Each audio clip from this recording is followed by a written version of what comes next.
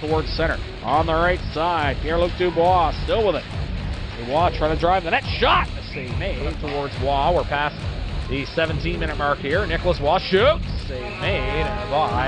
Take it as we come up to the 12 minute mark. No scoring yet. Here's Svechnikov. Drops for Dubois. Swings across to Gosselin. A save made. Spots.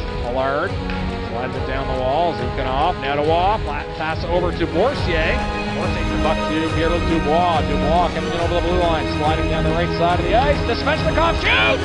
Boursier has Allard driving the net. Now Waugh joins in. Shot. Save made. Rebound. Pucks at the blue paint. And they score. Made by the Sags goaltender. Svechnikov to Lazarev.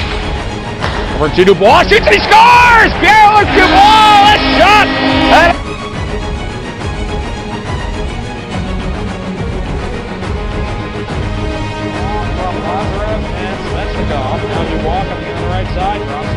Svechnikov. Still dangling. Shoots! Jacob will bring it forward for Shibumi. Mortier's in now also. Mortier in front to Marco. Save made by well, Svechnikov will dig in. La- LeBlanc keeps it in at the point. Feeds Lazarev. Lazarev. Shoot. Scores! Max Lazarev and the power!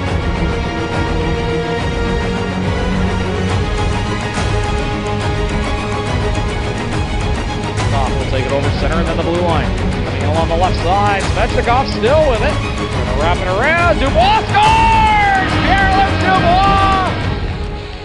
Now here's McCann Woodrow shooting and it goes over the goal. Bouncing it from the point to Allard. Allard getting the puck to Boursier. Back to Allard. Shot. Woodrow on the rebound. Scores! Hey, trying to move the puck forward. Taken off the puck by Svechnikov. To Lazarev. Lazarev coming in. Dinking it. Oh, he runs of room.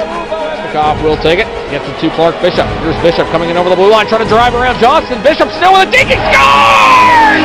Clark Bishop with a spectacular goal. The Eagles lead four.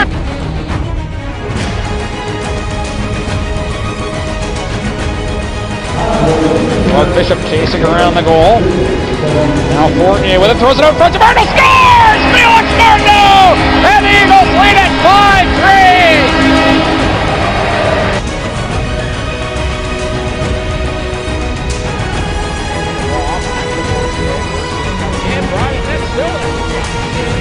Eagles are on the power play for another 34 seconds, and they're in the lead. Looks like Phelix Martineau's going to hit the empty net. Marco hustling back. Martineau scores! Phelix Martineau scores his fifth goal in the last two games. And the Screaming Eagles take a 6-3 lead, and that should pretty much do it.